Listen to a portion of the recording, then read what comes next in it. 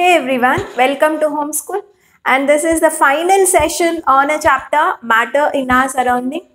And the previous concepts video links are provided in the description. You can go and watch. And today I am going to talk everything about evaporation. Evaporation. Okay, fine. And we all have studied how actually liquids gets converted into vapor, isn't it? See, how did we convert water into water vapor? We converted that on heating. So, when we heated water, it became water vapor. Okay, but every time the liquid, when it gets converted into water vapor, should we heat it? Every time on heating only, it will get converted into vapor? No. One example I'll give you Say you take a bowl of water, you keep it near your window, open your window and keep a bowl of water near your window. And mark the level of water. Say for example, I have a bowl and till here, you know, till here I took a water, mark it, mark it, initial level you mark it. And this one I kept it near a window after two days you observe the same bowl of water definitely your water level will decrease. Your water level will decrease. After two days or one day you observe the same cup of water. Your amount of water in a beaker would definitely decrease. Did you heat here? On heating is your water become into vapor? What happened to that water? You have not heated it but it has converted into water vapor and it went into the atmosphere.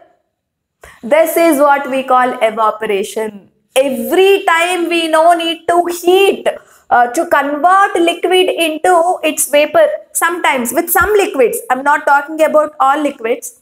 Few liquids have a tendency of escaping into atmosphere okay they naturally have tendency of escaping into atmosphere as vapor. Some liquids have this property and that is what we mean by evaporation.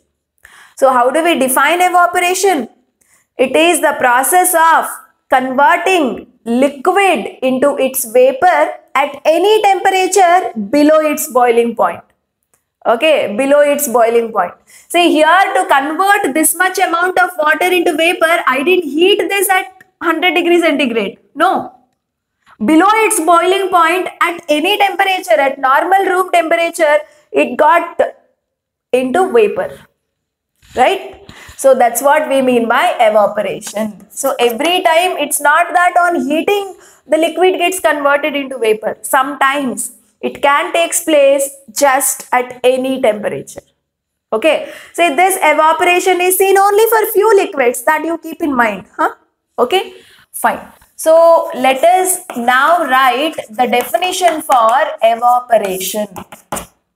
Conversion of conversion of liquid liquid into vapor vapor liquid into its vapor. Liquid into its vapor below below its boiling point. Below its boiling point at any temperature at any temperature is called as evaporation. Okay. Say for example you have washed your clothes. Water content is there in a cloth. You kept it for drying. Uh, do you heat to make that water to go into uh, vapor into the atmosphere? No right? You will not heat that cloth. Automatically when you keep it for drying after some time you come and observe the water content which was there in the cloth would have evaporated on its own. It's not that you have to heat, okay, to make that water uh, to escape into atmosphere. No, it has occurred on its own. So that's what we mean by evaporation. Okay, fine. And now we will discuss about factors affecting evaporation. Factors affecting evaporation you know evaporation depends on certain factor okay let us discuss about them first factor first one is surface area. Surface area. What do you mean by surface area? The area occupied by a liquid is called surface area. Okay. Say for example i have one big bowl. I have you know a small bowl. Okay. I have water in this bowl. I do have water in this bowl also okay? Can you tell me in which bowl you would observe the faster evaporation? See both bowls you keep it near a window. Give equal take equal amount of here also you take 10 ml of water here also you take 10 ml of water. Okay? Both bowls you keep it near a window. In which case water would decrease more. More evaporation was observed in this particular bowl or no the bowl which is bigger and longer right it's because the surface area is more the area occupied by the water is more you know evaporation is a surface phenomenon so usually the molecules which are there at the surface, no, they will evaporate first. They will evaporate first. The molecules which are there in a surface. Here the surface area is very less. You know, few only there in a surface uh, uh, thing, right? So here you see only four molecules of water evaporated, but here how many molecules? One, two, three, four, five, six. Many molecules would occupy the surface because you took bigger bowl, more area was there, right? So as the surface area increases, evaporation will increase. So uh, what I can write here as surface area area increases evaporation increases. Evaporation increases. Okay very very important. Say uh, when you have hot milk or coffee uh, if you want to uh, make it cool sooner what will you do? You will take it in a big container big plate and you will make it dry so that it will become cool sooner. Instead of taking that milk in a very uh, you know little container very small container right? So as the surface area increases evaporation increases. Clear? Fine. And the next point is temperature. Evaporation also depends on temperature. Okay? Definitely if the temperature of atmosphere is very much higher you know what? During summers our clothes will get dry faster. Right uh, compared to rainy season or winters. It's because outside atmospheric temperature itself is very much high. So as temperature increases our evaporation process also increases. Right? So what i will write here as temperature increases evaporation increases. Evaporation increases. Remember. Right? And the third factor is wind. Wind okay. Say uh, even during uh, the season where you have lots of wind clothes will get dry very sooner right? Because of the wind. So as the wind blows onto a cloth wet cloth you know it will get dry soon because the evaporation increases. Okay. So as the wind energy increases our evaporation also increases right? And now let me talk about the fourth factor humidity humidity. So what do you mean by humidity? Already some amount of water vapor if present in atmosphere. Then we say that atmosphere is humid. Okay? Say uh, when you go to a coastal area we say that the environment or the atmosphere is very much humid right? Uh, it's because you know in the coastal area you have big ocean where the water vapor originally that is present in the atmosphere would be greater because water bodies are there water would have evaporated. So in the humid areas evaporation takes place very little. Okay evaporation process actually decreases. Clear? So what i can write here is as humidity increases in atmosphere as humidity increases, our evaporation, the extent of evaporation decreases. Okay, so evaporation doesn't occur in a a better way. Say the same bowl of water, uh, when you keep it uh, in a humid condition, right? Already water vapor is there in atmosphere. Then that point of time, this, this water which is there in a bowl will not evaporate that easily to humid atmospheres. Okay, so these are the four factors that affect evaporation. As the surface area increases, evaporation increases. As temperature increases, evaporation also would be greater. As wind energy increases, evaporation would be greater. But in the humid atmosphere, evaporation decreases. Okay, so this is the most important thing you will have to remember for examination point of view. Okay, so this is evaporation and factors affecting evaporation. And now, actually, this process of evaporation brings cooling. Let us see how this evaporation can bring cooling in the atmosphere. So here, let me try to give the answer for this question. How does evaporation, evaporation brings cooling? Brings cooling. You know what? Imagine I have a bowl of water. A bowl of water I kept outside. Okay, so this is the outside environment. You know, this is surrounding. I will call this as surroundings. Outside environment is called surrounding. Okay, fine. And you know, evaporation happens. So this is a water. Water has a ability to evaporate. So, uh, you know, uh, the molecules which are there on the surface will evaporate. Okay, evaporate. And during this evaporation, these particles would have lost their energy. Okay, so they, they, they would have become very much tired. Okay, moving from uh, bowl to outside environment, that is to the surrounding okay? And they they lost their energy during movement. Okay? And you know what? Even we will also lose energy you know? So after we uh, run from one place to another place automatically we will become very tired and we will lose so much energy. The same thing here. Say when these molecules which were in the beaker they evaporated outside you know with lots of energy they had lost their energy. So what will these molecules do they absorb heat energy. They will absorb heat from surrounding. From surrounding.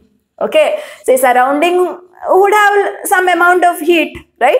Say from surrounding, they will absorb heat energy. And that way, the surrounding area is becoming cooler when the heat has gone to uh, these molecules then that area will become cooler only so this is how, you know, the evaporation will bring cooling. Okay. So what you can write here, during evaporation, during evaporation, what would happen? The evaporated, the evaporated particles, particles would, would lose their energy. Would lose energy.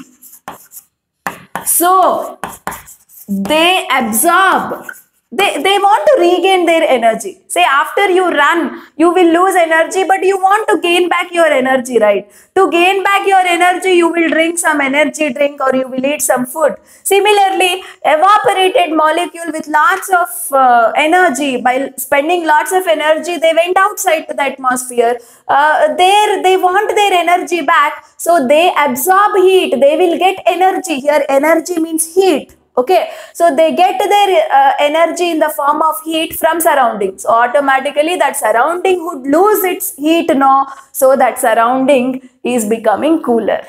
Okay so that is what i'm going to write in the form of sentence. So what did i write? During evaporation the evaporated particles would lose energy so they absorb so they absorb heat from surrounding from surrounding surrounding this makes this makes the surroundings this makes the surroundings cooler cooler, right? So this is the reason why we say evaporation leads to cooling of atmosphere.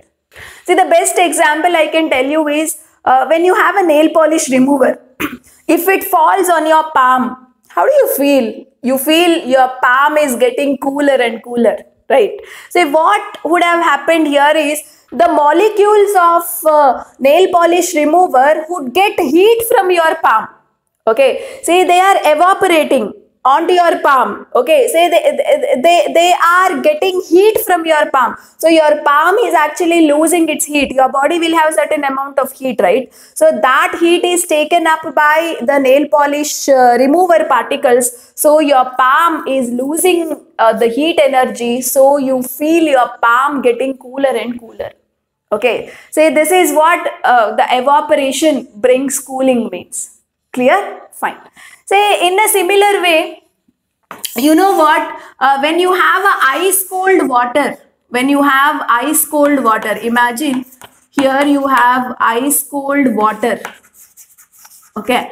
And after some time when you observe this glass, you know from the outside, you will observe this water droplets getting accumulated on outside the glass. Yes or no? So ice cold water you added to a glass just observe after few seconds 10 to 20 seconds you will observe small water droplets being accumulated on outside part not inside of the glass outside of the glass right? Say why does this happen? It is also it's because you know this you kept it in atmosphere right? Atmosphere has lots of gases right? And here uh, it has water vapor along with the gases it has water vapor. So this water vapor from atmosphere it will go and hit this surface. Okay. So the moment it hits the surface its energy will be lost. Okay. The uh, the water vapor which is there in the surrounding area uh, this water vapor particles when they hit this glass what will happen? They will lose their heat energy. Okay. They lose their heat energy and you know that gas will get condensed into liquid. It was there in a gas form, but now it is getting condensed into liquid form. Okay, on cooling, gas becomes liquid. We studied that, right? When does the gas becomes liquid? On cooling. So the moment uh, uh, the gas, that is the water vapor present in the surrounding area hits this glass, you know it's it's it's a much cold temperature very less temperature right? So cooling takes place automatically condensation occurs. That means the gas particles are becoming into liquid there right? They are losing the gas particles are actually losing their energy losing their heat energy and they are becoming into liquid. Condensation is taking place here so that's the reason uh, around uh, the surface, glass surface of ice cold water, you, you will find small water droplets getting accumulated. Okay, it's, it, it, it's actually the vapor from atmosphere underwent condensation, okay, on the surface of a glass, outer surface of a glass.